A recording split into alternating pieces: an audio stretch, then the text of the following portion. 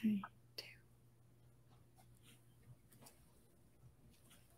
Hello, everybody, and thanks for joining us. Hi, Tracy. Thanks for being with us today. Hi, Lori. Hi, everyone. It's great to be here today. Of course, you know, I'm always excited when we're it's webinar day, and we are talking about um, start to finish tickets, tables, sponsors. Um, I appreciate each and every one of you for spending a little bit of time with us today. So uh, if you're new to Auctria, then I want to let you know that you're in great company. 45,000 auctions and fund fundraisers have been run through Auctria, raising over $500 million. And this is just a sample of those amazing organizations. And I'd love to see your name up there too. Right, Tracy? Yes, great things are happening. And we appreciate all the work that you guys are doing. Absolutely. So this is part of a, um, a four-part webinar series. Um, we talked about common setups in the last one. We're going to talk about tickets, tables, sponsors, and then you can join us for the next two. We're going to do items, donations, raffles, and then we're going to talk about opening, bidding, closing, and collections in the fourth one. So here's what the agenda looks like. We're going to do start to finish setups, printables, selling, and you can use all these for training with your staff, staff and volunteers. We're going to talk about cash donations, table seatings, printing your table lists, your meal lists. We're going to talk about sponsorships and tickets for admission. These are tickets for admission. Um, ticket setup, um, as well as wrap it all up with communications and reports. And for those that like pictures, here's a pictorial representation of what this agenda is going to look like. So let's go ahead and get started. The first one we're going to talk about is cash donations here. And you can do this one of three ways. Ultimately, it's going to show up on your event website. You can set up your total goal within the dashboard and then show it on your event website with a pretty thermometer that shows how much money that you've raised. So we have a video ready for you. We're going to talk about setting up your donations as an item, setting up your donations as a website element, or recording donations um, completely from the internal side as an admin. I brought along some videos and here we go with the first one.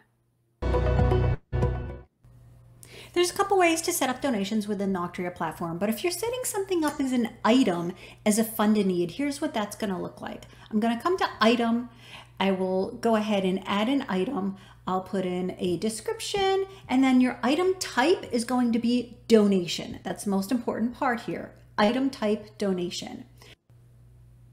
So I'm going to put an image in here that just says fund a need item type web website with a description on it. I can come down a little further and this is where I can change the um, donation level amounts. All you need is a numerical figure followed by a comma. So let's see how that looks on the website. This is the fund and need. In order to drop that onto your page, you'll put in a catalog and then I'm going to configure the catalog. But I wanted to show just the item type donations. I'm going to click on donation and click off the others. And that's what it looks like. Let's mess around with this a little bit more. I don't need drill down. I don't need pagination. And I'm going to make this a full item card. And look how nice that looks on the website. If you want to set up just a simple cash donation on your website element, that's super easy. So this template already has one on here and it's done up really nice. If you want to edit the donation levels, you come over into the element itself, click on the target button here, and then change the configurations for the donation levels. So I am going to drop off the 2500. I'm going to go on the front end and add in a smaller donation, hit save, and there it is.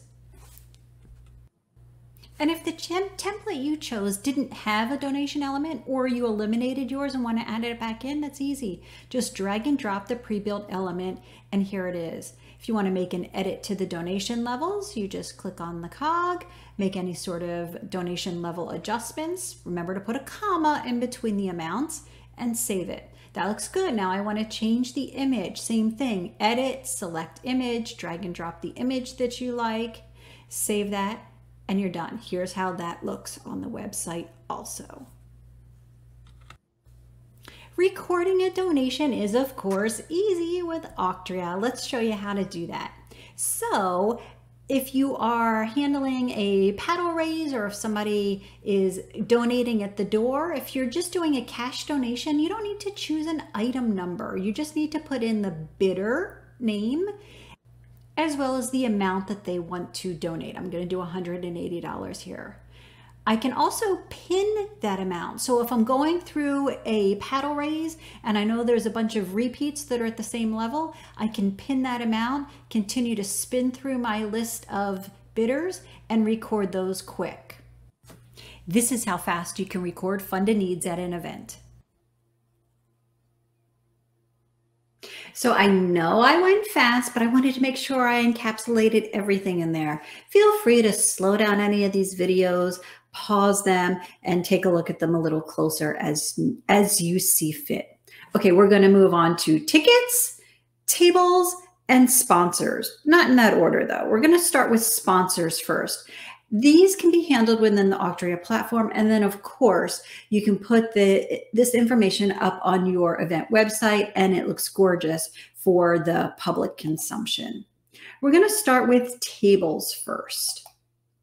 And you can print um, your seating tables, as well as provide any information that you need for your caterers or for your team internally. I do have a walkthrough video on this. We're going to talk about table seatings and reports. Off to the video we go.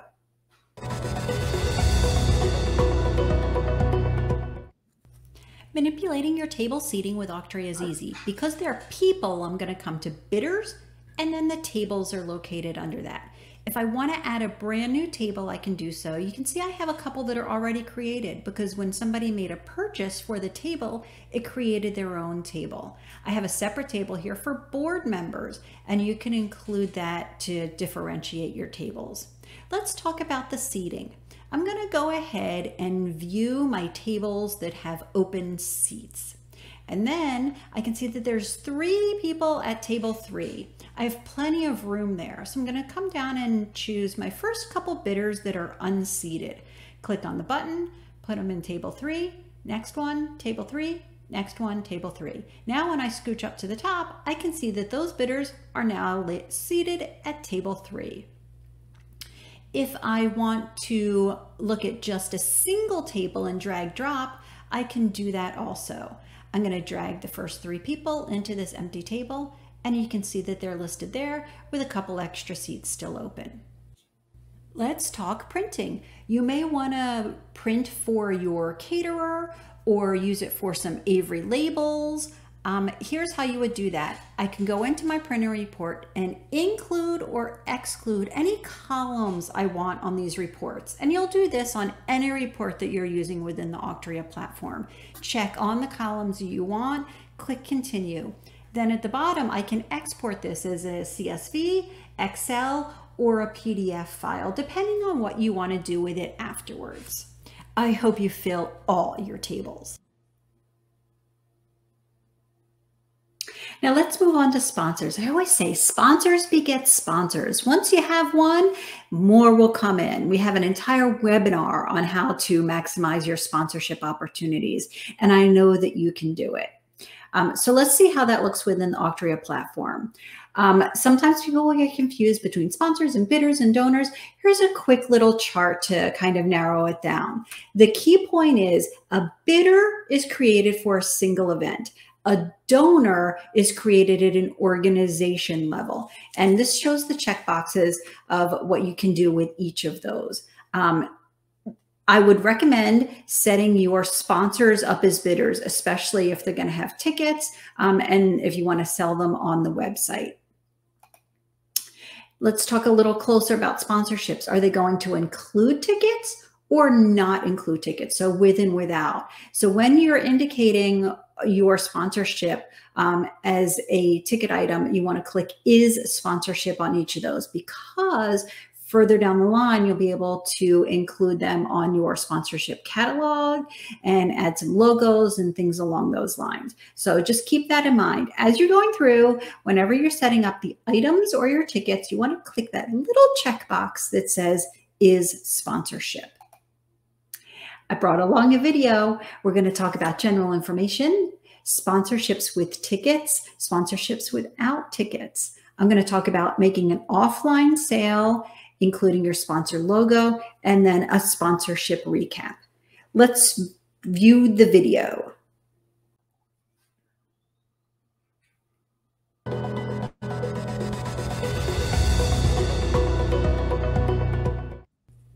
Here's an information page just to get you acquainted with sponsorships. You can sell sponsorships with tickets or without tickets, and they're set up two different ways. I'm going to show you exactly what that looks like within the Auctria platform, but know that there is a difference. If you're selling with tickets, it's a ticket item. If you're selling without tickets, it's a simple for sale item. The rest of the process is the same. You're going to mark them as a sponsorship, and after the sponsorship is sold, you will upload the sponsor logo to the bidder record. Here's how that looks.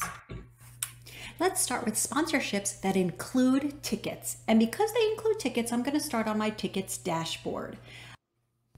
You would start with add new ticket item, but I have already one set up here. That way you don't have to watch me fill in a form. You're probably pretty good at that, but I want to point out the most important parts. So here's a silver sponsorship I'm going to give it a title that's appropriate and a description. This one's going to include eight tickets to the event. So I'm going to include that in the quantity for the admission tickets for eight. And this is the most important is sponsorship. I'm going to mark that as yes and click the checkbox. Let's look at this on the outside looking in as somebody that wants to purchase the sponsorship. I'm going to come in here, click sponsorship, add it to cart, continue to my details. And then at that point in time, the person that's purchasing the sponsorship can indicate whether it's for themselves or for guests. They can include the meal choices at that time if they need, or they can save that for later and then edit it at another time.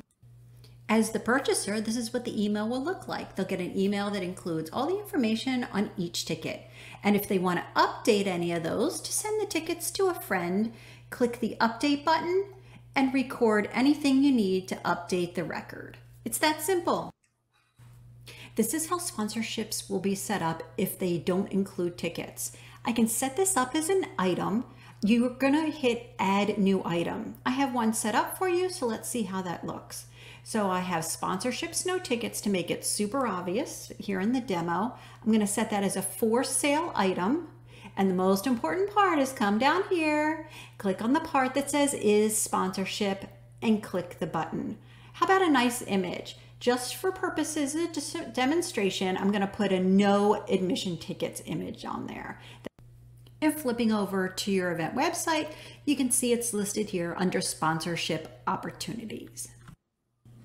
Many times sponsors will want to drop off a check for you, and that's totally fine. Come down to tickets go to sell tickets. This is where you want to put in the information that's related to the person that's giving you the check for the sponsorship.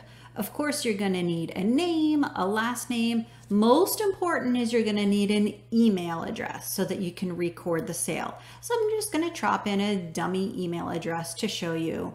Then slide on down to the end of this page and you're going to click save. Now I'm going to actually make the sale. I'm going to choose the item. They're going to choose the silver sponsorship and they're purchasing one. So I'm going to put in a quantity of one, click the blue button that says record sale, and you get a green banner confirmation at the top. The last part of the sponsorship process is adding the sponsor's logo. The sponsor is attached to the person that made the purchase. So in the last example, it was Lori Flower Shop. So I go to that bidder record and I can upload an image. So I've got a pretty flower shop logo that I'm going to attach to it. And it's that simple. Now, when I flip over to the website and see my sponsors, the silver sponsorship is listed there with the logo. So I just want to recap the sponsorships. You've got your sponsorships with tickets, where you'll set it up as a ticket item, the quantity of tickets, market is sponsorship. You have your sponsorships without tickets. You'll set that up as a for sale item, no tickets, so there's no quantity, market as is sponsorship. And then after the sponsorship is sold, you'll upload the logo to the bidder record that made the purchase. Adding a logo is a function that you, as the admin only, can handle. However, it'll make it look nice and neat once it's up on the website. Good luck! Hope you sell lots of sponsorships. Okay. Okay, so that's sponsorships. Now we're going to talk about tickets. And I want you to listen to me. Tickets are a special item and they have their own unit within the Auctria platform as the tickets unit within the dashboard. I'm going to show you how to set those up. So we're going to talk about tickets for admission. And I asked you to think about this in the end of the last webinar. Are you going to sell a single ticket? Are you going to sell couple tickets? Are you going to do early bird tickets? Um, do you want to set an entire table of tickets? And then, of course, I'm sure you want to include some meal choices. So I created a video. Here we go to the walkthrough. Admission tickets have unique properties, so they have their own home on the Auctria dashboard. So I'm sliding down and clicking the tickets. You probably want to set up your max number of tickets if there's a max number of seats that you have available. If you don't have a max, then you can leave that at zero. Let's look at setting up a single ticket item. I'm going to slide down to tickets and I'm going to show you what this looks like with one that's already created. But this is going to be a single ticket for a single admission. So I'm going to set the item number, give it a description that includes one ticket in there. And the most important thing is to create a value as well as quantity of tickets that are sold with that admission and put a nice image in there so it looks really good.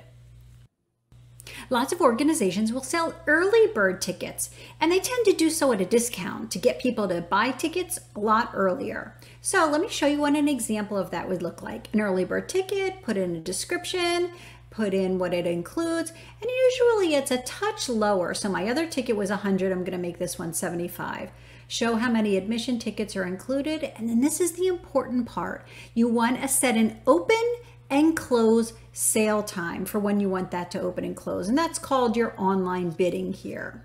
So this is what that looks like and you want to set the exact time so that it opens and closes. Lots of times organizations will want to create a couple ticket. This means that both bidders will share the same number. So here's an example. I'm giving it a nice title that matches that. The description includes two tickets, two admissions, two drinks. So of course the quantity needs to reflect that. The number of mission tickets needs to reflect that. And most important is coming down here and clicking the always share a bidder number between guests when this is purchased. I always want to put a nice image on that. So I've got a ticket item that has two tickets on it to reflect that. I'm going to slow this down for you for a sec to show you. Always share a bidder number for guests when purchased. So you want to click that to a yes. I've got a big yellow box around that for you so you can pause this and do it yourself. Let's talk tables. Here's an example for a table of eight. So I will set up the item just like I normally do, include a nice description, and then the most important part is when I come down and I include a value that's appropriate as well as the quantity, the number of admission tickets that are included. And and then the other option is to create a table when sold. Some people want to do it, some people don't. Okay, meal choices. Do you think I skipped them? No, this is under bidder because a bidder is the one that's actually eating the food. So I'm going to bidder registration and then I'm going to slide down to registration options and how about some fish, some chicken, and some vegetarian? Load those in. And then you can require a meal choice or not require a meal choice upon sale. And then you can also set a time and a date for when the meal choices need to be made by. That way you don't get any people making last minute changes. Now you're going to want to run your reports. You can choose your columns that you want to include or exclude on your reports by clicking the choose columns button and turn on and turn off the ones that you're looking for. This is the same procedure you'll use on any of the Auctria reports. Slide on down at the bottom, then you can export as a CSV, XLS, or PDF. Okay, let's see how this looks on the website. I'm going to purchase an early bird ticket, continue to contact details, put in my email and my information. I'm going to go ahead and skip. I'm not going to put in a password at this time. I'm going to choose the fish, cover my expenses, agree, and pay by credit card and playing the purchaser role, I'm going to go back into my email. Now I can see I get an email and it clearly shows me what I've purchased. And if I want to go and update any of my details, including putting in a credit card or changing any of my information, I can do so from the system directly. Again, like I said, if those went too fast, it's okay. Hit pause, hit rewind. That's what those navigation buttons are there for in this video. I'm going to tie this up with a nice bow like you would be doing for your supporters, donors, bidders with some communication tips. Um, the system emails within the Auctria platform are already set up for you. However, some groups like to make some modifications to make them a little more personal here are some suggestions that have um, that you may want to take a look at. Um, but I want to explain to you exactly what is triggered and when. This is for your system emails. A tickets statement triggers when you're selling via the dashboard. So if somebody comes in at the door or if somebody comes into your office and says, hey, I want to give you cash or, or check for the event, um, that will trigger a ticket statement. That's when you're using the sell tickets page. An e-ticket is triggered when a purchase is made online. That means the person actually made the purchase themselves, either from your website um, or from their mobile device. They went onto your website and made the the uh, the purchase there. Um, a lot of groups may want to change the system emails to encourage people that purchased tickets for themselves and for some friends, like for tickets or sponsors, um, to update their guest information. A lot of times they'll make the purchase, but then they won't really update the rest of the info. So you want to encourage them. And this is just some sample wording. Details of your tickets are shown below. To expedite check-in, please click the update button below to update the guest information, etc. I'm going to show you what that looks like. Um, here is what an e-ticket would look like. And here is what a ticket statement would look like. They're two different pieces. Um, so I do have a walkthrough video for you on this. Let's see how it looks.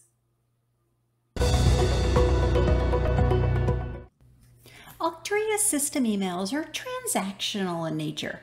A lot of groups will want to modify some. Some of the ones that are most popularly modified are your ticket statements and your e-tickets. There's a lot of information on here, but don't worry, you can pause it later. So communications, and then I go to system emails and I can see my e-ticket as well as my ticket statement. The e-ticket is sent automatically if somebody makes a purchase online, and then the ticket statement is sent if that transaction is made from you, the admin, from the dashboard. And you can preview each of these and you can see they're very basic. A lot of groups will want to update it and have some more information on it. And this is what you would do on any of these system emails. I'm going to go ahead and drag and drop in a little text box and modify it to include some information to encourage them to update their bidder records as necessary. So I just have a copy paste here. I'm going to drop that in there. That looks good. I can even modify this a little bit. I can make a section bold and then I can center it. And you can do this on any of the system emails within the Auctria platform. Groups will want to include maybe their tax ID number, when their next volunteer opportunities are, and you can see how nicely that looks within the system. I'm gonna save it. And then you can also preview how this is gonna look on a mobile device do take a look at that and make sure it looks exactly as you wish. The person that receives the email can go ahead and just quick click that button to update their details as necessary. And yeah, you see that logo up there? You can change that too. I'm gonna pause right here in case you wanna take a screenshot and slow this down. For tickets, there's a ticket statement, and that's triggered when you're selling via the dashboard. There's an e-ticket, which is triggered when you're purchased online. And the green box at the bottom is the one that I showed you as a suggested email edit. as you're moving from the sales phase to the planning phase for your actual event, you're going to want to look at your tables and your reports. So in order to access the table reports, I come into bidders, I come to tables, and I can sort these by flipping the little arrow back and forth, and I can include or exclude any additional columns. I'm gonna add meal choice to this one. Um, and then you can exclude the ones that you don't need also.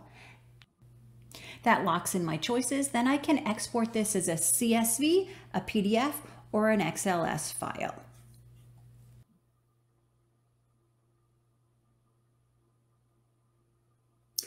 So I know I went over a lot of information and you're setting up your auction, you're doing a whole lot of work, but you want to test it and that's okay. You can create a test auction within the Auctria platform.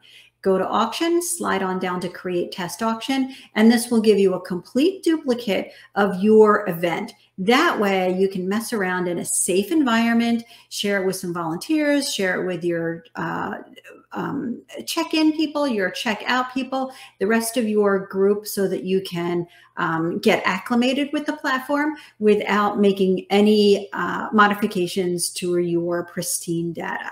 So I always suggest people to go to auction, create test auction, and use that environment to um, get yourself up and running and make sure you have your expectations in line for the day of, the night of, the week of. So like I said, this is the second in a quad webinars, I'm calling them, um, hang out with us and watch the one on items, don donations, raffles, and then hang out a little longer. And we're going to talk about how to open, bid, sell, close, and collect. And if you missed the prior one, that's available on playback too. So Auctria Launch is an add-on feature. And just in time, Tracy's here to share the details. Yes, thanks, Lori. Yes, Auctria Launch is an add-on. It's a great service where our Auctria specialists will meet with your event setup team to help that you ensure that your setup is done the way you want and runs smoothly. And it is designed for those who want to leave the setup to the Auctria team. It includes three video calls and ongoing chat support, and even includes a review training call before you go live. And we also have Auctria Assist, and it's a single 45 minute video call, kind of a la carte style. And you can ask questions to an Auctria specialist, and they'll walk through the answers. We'll share screens specifically on your event to walk through those answers. Thanks, Tracy. And then I always encourage everybody to stay in touch with us. We post regularly to Facebook and Twitter. We have over 500 pins that go directly to donation request pages. We have an entire catalog of webinars that's up on our YouTube page. And I invite every single person to join us on our Facebook group. Tracy, I always say this is the nicest page on Facebook. Do you agree? Absolutely agree with that. It is people like you that are running their auction and event fundraisers. We have all sorts of event planners and auctioneers that also chime in as well. If you're stuck, you can always email us hello at auctria.com or click the square chat box button up in the right hand corner of your dashboard. And then, like Tracy said, if you want to add on launch to your Emerald or Diamond plan, please do so. Our launch team is standing by. Thank you, everybody, for joining us. Tracy, wrap it up for us. Oh, thanks, Lori. It's been a great time together. And we hope we you crush your fundraising goals. And we we really do hope you have bids that soar.